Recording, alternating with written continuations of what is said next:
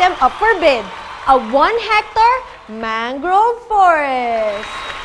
This highly productive forest has useful products for people in the form of wood, fish, and crustaceans, and various other ecological and economic benefits. At ibibigay namin ang 1 hectare mangrove forest na ito to one of you who get the actual value price per year. What do you bid? 345,000, 550,000, 785,000, 500,000. Ang actual price ay 1 million per year! I won! 1 million talaga? Oo, 1 million per year. Ganito yon.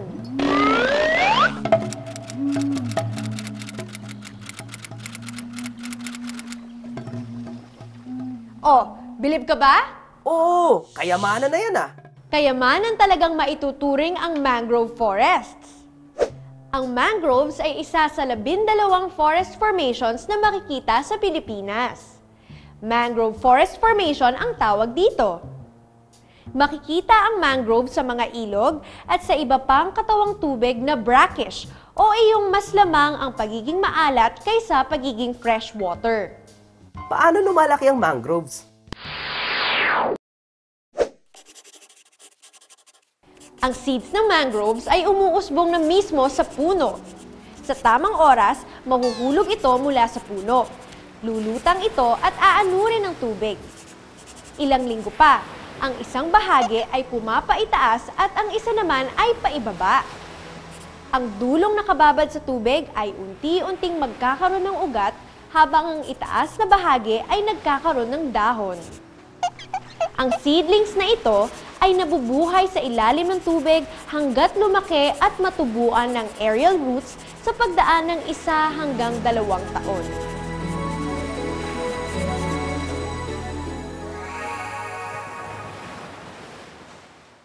Tulad ng alam na natin, ang mangrove trees ay nabubuhay sa lugar kung saan ang mga ordinaryong puno ay hindi pwedeng mag-survive. Biruin nyo, maalat ang tubig at hindi sapat ang oxygen. Kailangan din ng mangroves makipagtagisan mayat maya sa agos ng tubig at malalakas na bagyo. Ugat pa lang ng mangrove, nakikipaglaban na sa alat ng tubig. May ultrafiltration kasi ito para mapigilan ang pagdaloy ng alat sa mangrove.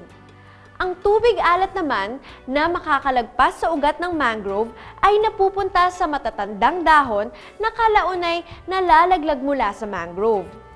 Pero ang ugat ay hindi lang para malimitahan ang pagpasok ng tubig alat sa mangrove. Ito rin ay nagsisilbing hingahan ng mangrove. Meron itong maliliit na pores o lenticels para makahinga. Kung natrap ka sa isla, ano ang pinakamalaking sakit ng ulo mo? Ano? na wala kang mainom na tubig kahit na pinalilibutan ka ng malawak na karagatan. Oo nga no. Parang mangroves din. Pinaliligiran nga ng tubig, maalat naman. Mahalaga ang fresh water sa mangroves, kaya kailangang mag-double time sila para magtipid at mag-impok ng fresh water. Kaya may succulent leaves ito para mag-impok ng tubig. Espesyal pala talaga ang mangroves. At mas mataas ang value ng mangroves habang nabubuhay ito. Maraming dahilan kung bakit mahalaga ito. Tignan natin kung bakit. Ang mga ugat ay nagsisilbing anchor o parang mga kamay na yumayakap sa lupa para hindi ito kalat-kalat. Kapag nagsama-sama naman, ang mangroves ay parang pader na pananggalang sa malalakas na alon at hangin. Tumutulong sila para maprotektahan at mapangalagaan ang coastal habitats. Ito rin ay parang fruit basket. Pero syempre, hindi prutas ang laman nito, kundi carbon na nagiging pagkain para sa mga halaman at hayop tulad ng isda at mollusks. Aba, magaling ding tagapag-alaga ang mangroves. Inaalagaan nito ang mga baby fish at maliliit na hayop sa pamamagitan ng mga ugat nito. Ang mga sanga naman nito ay nagsisilbing pahingahan ng mga ibon. Ganito ang ginagawa ng mangrove sa lupa. Sinasala nito ang tubig na may dalang mapanganib na minerals tulad ng pesticide, heavy metals at sobrang nutrients mula sa fertilizers galing sa mga palayan. Dahil dito, napapangalagaan nila ang reefs at seagrasses. Ang dami-daming tulong na nagagawa ng mangroves. Hmm. Ay, may nakalimutan ako. Ang mga dahon at sanga ng mangroves ay gumagawa ng oxygen sa pamamagitan ng photosynthesis. Nililinis nito ang hangin na parang air freshener. Ginagamit ng halaman ang carbon kasama ang light at water para magproseso ng pagkain niya. Ang oxygen ay inilalabas ng halaman bilang waste niya. Ang resulta, sariwa ang hangin sa lugar na maraming halaman. Ba na pwedeng malaman kung paano tumataas ang production ng isang ecosystem kapag naapektuhan nito ang cycle of nutrients dito? Mahalaga ito para maging maayos ang pag-manage ng renewable biological resources tulad ng commercial fish, forests, at wildlife. Ah, Hindi ko na kaya usok dito. May kakayahan ng kalikasan para kahit papaano ay makapag-adjust sa human wastes. Pero nagsasabi rin ng ecosystem kung hindi na kaya ng recycling capacity nito ang polusyon na dulot natin. Samantala, ang isang populasyon ay apektado ng iba't ibang salik tulad ng disease, competition, predator-prey relationships. Kapag ang populasyon ay mas maliit kaysa sa carrying capacity na tinitira nito, mabilis na tumataas ang bilang ng populasyon. Kapag naman masikip dahil sa mas malaki ang populasyon kaysa sa carrying capacity, tumataas ang bilang ng mga namamatay. May natural enemies sa isang ecosystem. Predators, parasitoids, pathogens, and nematodes. Tulad ng pest insects, kailangan din itong i-manage para hindi ito lubusang makapanira. At syempre, may abilidad din ang mga organisms mag-reproduce at syempre maging extinct. Kung ang isang organism ay nagre-reproduce ng higit sa isang offspring, mas dadami ang populasyon sa isang ecosystem. Bumabagal naman ang pagdami kapag nawawalan o nakukulangan ng mga resources o kaya naman dahil sa patuloy na pagdami ng toxic wastes. Dahil dito, nagiging extinct ang mga organisms. Ano nga ba ang mga produkto at benepisyo mula sa bakawan? Ang mga produktong gawa sa bakawan ay pinagkakakitaan ng tao. Hinahati ito sa tatlo. Una, Pangisdaan. Maraming produkto ang makukuha sa isang palaisdaan. Mga halimbawa nito ay isda, hipon, sugpo, alimango, tulya, at tamilok. Pangalawa, yamang gubat. May mga produkto naman na maaaring makuha sa ating mga kagubatan. Halimbawa nito ay panggatong, bangka, bakod at pamingwit. Pwede din itong gamitin sa paggawa ng lubid, cork at honey, at iba pang hanap buhay na makukuha sa mga bakawan. Halimbawa, Nipa fruticans. Gamit ang mga dahon ng Nipa fruticans, maaaring makagawa ng pamaypay, bubong, at mga dingding sa paggawa ng bahay kubo. Dyes o tannins. Ang dyes at tannins ay maaaring makuha sa balat ng mga bakawan. May mga bakawan din na may mga bunga at dahon na maaaring kainin ng tao at hayop. Ang katas naman ng bakawan ay pwede ding gamitin upang makagawa ng pandikit at gamot. Ang lahat ng ito ay maaaring gamitin at ibenta para mapagkunan ng kita ng mga tao. Ang mga pulo ng ating bansa ay pinalilibutan ng 36,300 kilometro ng coastline na may mangrove forests, seagrass beds, at coral reefs. 36,300 na kilometro. Ang major at minor mangrove sa Pilipinas ay umaabot sa 30 hanggang 40 species na bahagi ng labing limang pamilya. Ngunit ang 450,000 ektaryang mangroves na pumapalibot sa buong bansa ay unti-unting kumonte dahil sa eksploitasyon ng mangroves.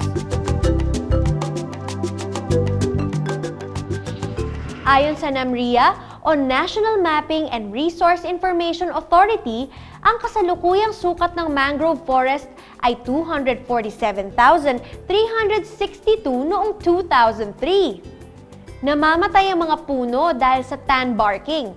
Inaalis ng mga tao ang bark o balat ng puno at ipinagbibili sa napakababang halaga.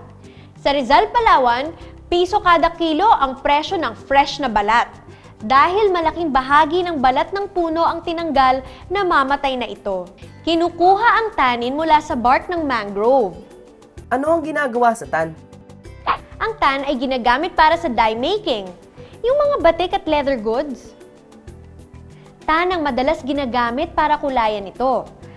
Ang kahoy nito ay ginagamit rin para gawing uling. Popular na gamitin ang ganitong uri ng uling sa mga panaderya o bakery, lalo na sa pagluto ng pandesal.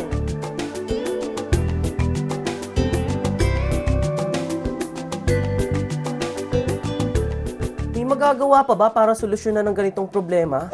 Nako, oo! Iminumungkahi na hindi dapat hihigit sa isang ektarya ang fish pond na mula sa mangroves. Samantalang apat na ektarya ng mangroves ang hindi dapat galawin.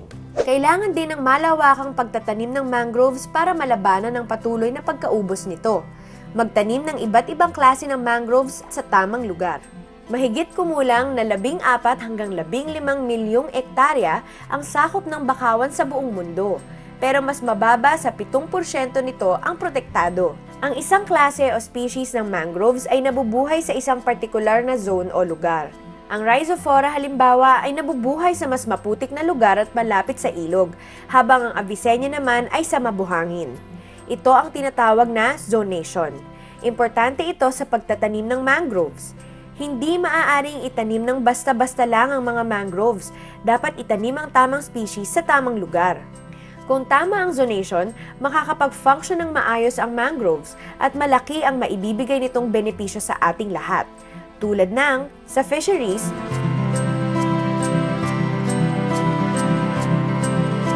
sa wood products, sa erosion control, sa waste disposal,